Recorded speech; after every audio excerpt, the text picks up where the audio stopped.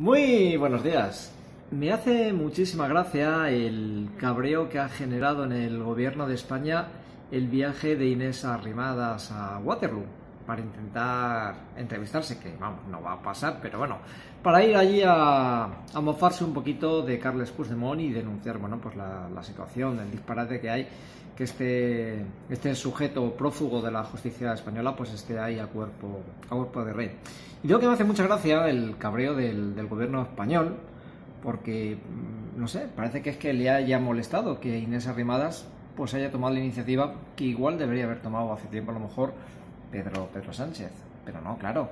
A ver, a Pedro Sánchez, a su corte de ministros, al taimado y peligroso Josep Borrell, les viene mejor tener ahí al, al Puigdemont ahí metido en Waterloo, que no dé mucho el coñazo, que no dé mucha guerra.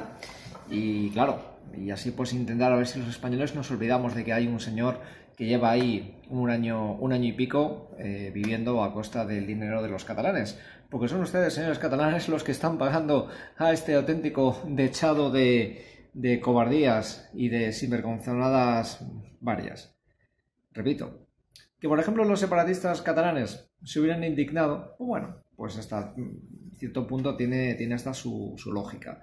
Pero que el gobierno de España se haya echado encima de Inés Arrimadas y de Ciudadanos por este viaje de la número 2 de la líder en Cataluña a Waterloo, a mí, sinceramente, me parece desopilante. Me parece un auténtico despropósito por parte del gobierno de Sánchez y esa portavoz llamada Isabel Cela.